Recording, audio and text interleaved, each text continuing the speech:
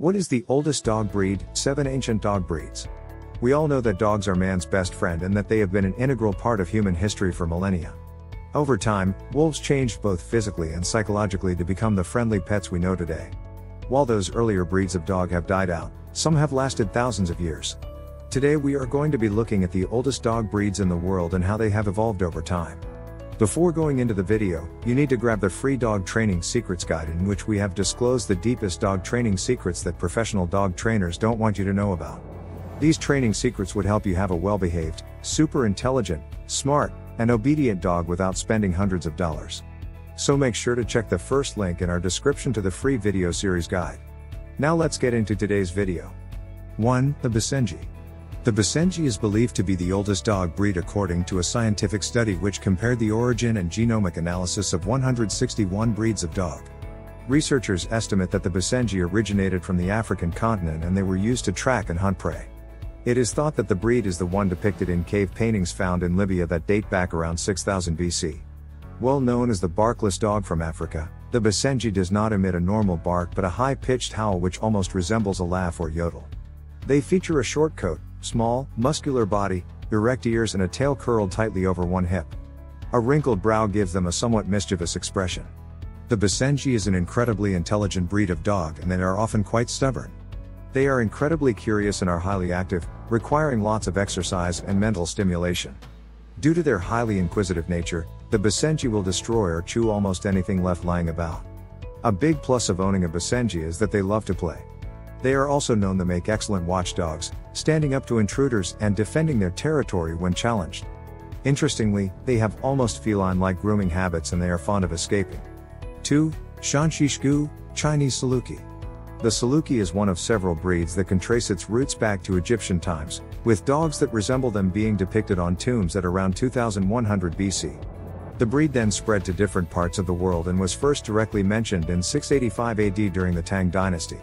Salukis possess a greyhound-like build, combining slender legs, a narrow body, deep chest, long tail and a small waist.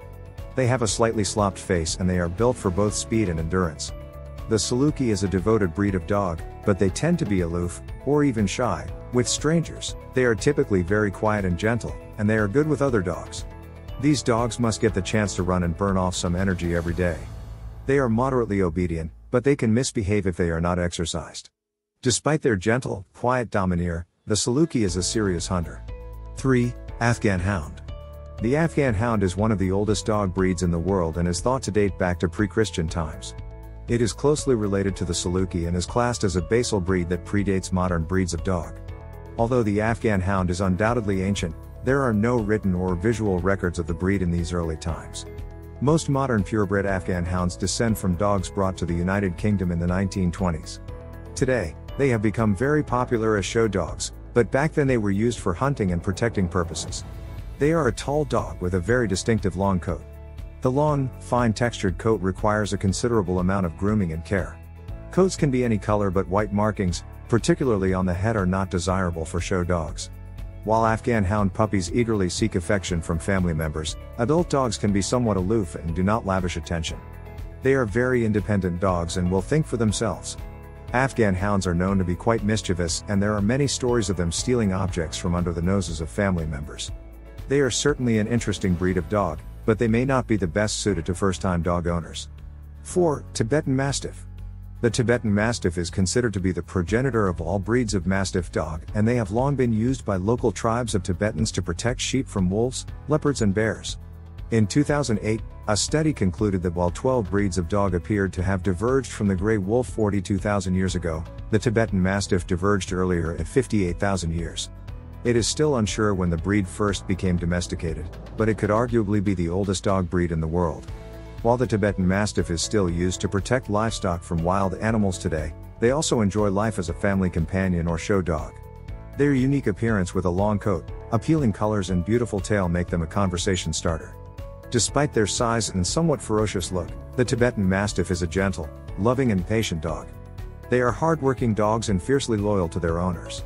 They make excellent guard dogs and centuries of breeding for that specific task have made them the perfect protector. Tibetan Mastiffs are generally quiet dogs when their needs are met, but if they are upset about something they can start barking. Socialization is especially important for this breed and you need to introduce them to lots of other dogs and people when they are a puppy. Pure Tibetan Mastiffs are incredibly rare, so expect to pay a premium for them. The world's most expensive dog was a Tibetan Mastiff puppy that sold for $2 million in China and one sold in 2011 with a price tag of $1.5 million. 5. Siberian Husky. The Siberian Husky is one of the world's oldest working breeds of dog and their story starts with the Chukchi people thousands of years ago. Chukchi originate from East Siberia and their hunter-gatherer culture relied on the Siberian Husky.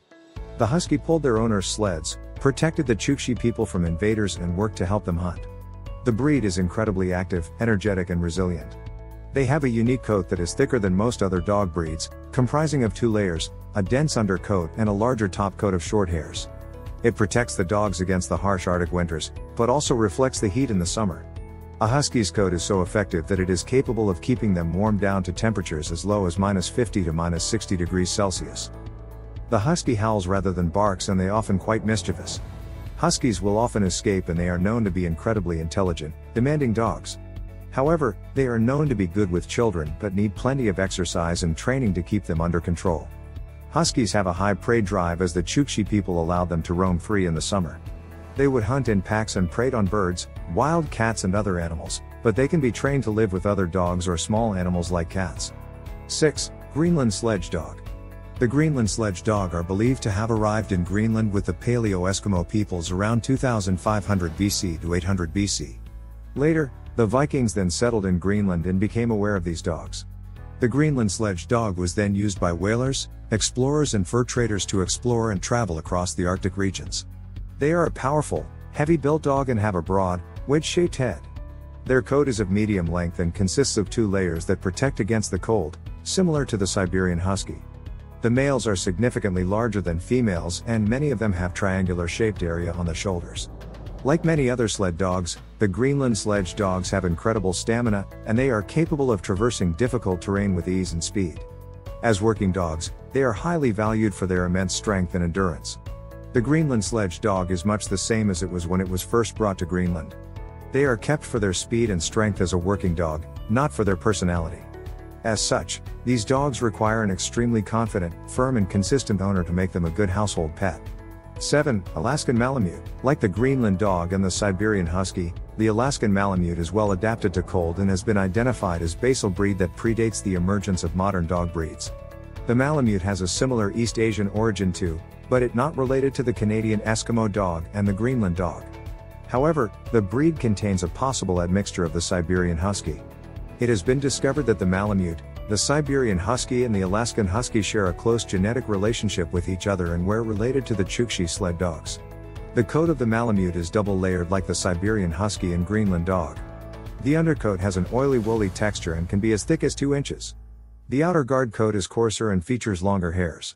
Malamutes are still used as sled dogs, but most are kept as family pets, show dogs or performance dogs in weight pulling or agility. The Malamute is highly intelligent, resourceful and independent. They have a high prey drive and need lots of exercise. While Malamutes are particularly amicable around people, they do need to be trained to tolerate smaller pets. It is also necessary to be mindful of them when they are around small children. And don't forget to check out the free video series that teaches the quick and easy way to an obedient dog, so make sure to get yours by clicking the first link in the description. If you like the video then make sure to hit that like button. Also if you want more dog training, guides, information then make sure to subscribe to our channel. Let me know what you think of this video in the comments and thank you for watching. And please consider subscribing our channel for more about dog training and dog breeds content every day.